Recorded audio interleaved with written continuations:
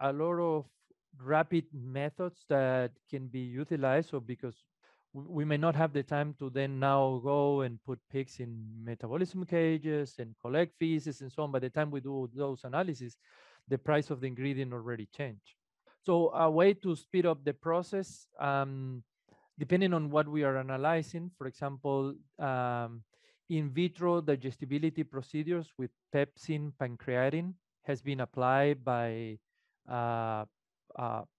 feed companies um, to evaluate, okay, the differences in digestibility of nutrients or even dry matter to, to make it simple across different feed ingredients or sources of the same feed ingredient as a way to gain then knowledge of the coefficient of digestibility that can be utilized in the calculation of net energy.